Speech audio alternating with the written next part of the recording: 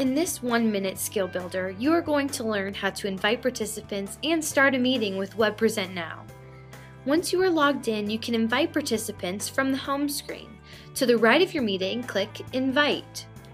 You can send invitations directly from WebPresentNow or send from your default email application by clicking Open My Email.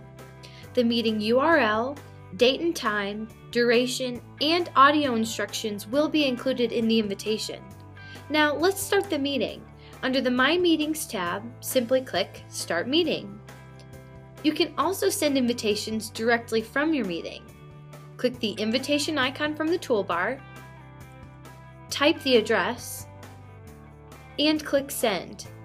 That's it. With WebPresentNow, starting a meeting and inviting participants is easy.